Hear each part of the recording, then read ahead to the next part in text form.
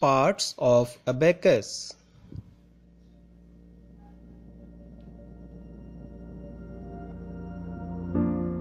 Learning outcomes.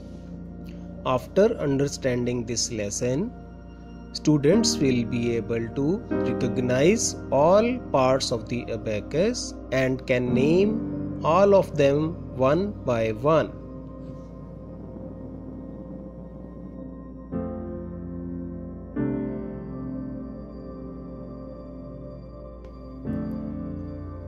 Frame holds all parts of the abacus together.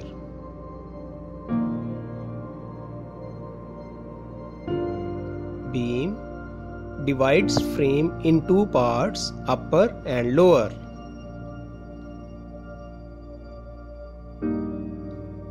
Vertical rods guides the up and down movement of beads.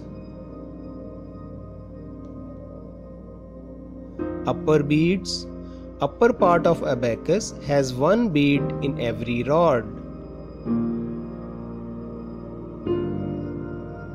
Lower beads Lower part of abacus has four beads in every rod.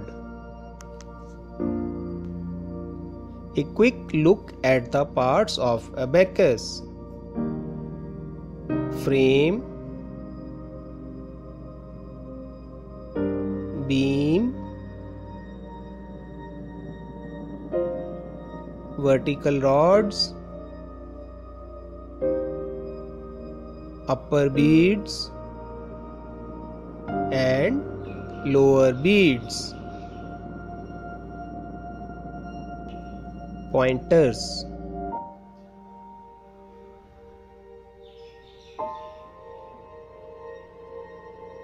Pointers help us to read and set large numbers quickly on abacus.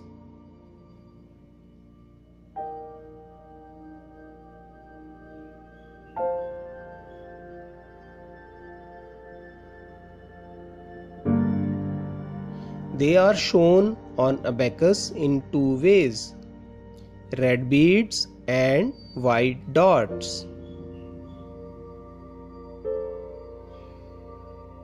Red beads. Every third rod of abacus has red beads. White dots. Every third rod is marked with white dots on the beam.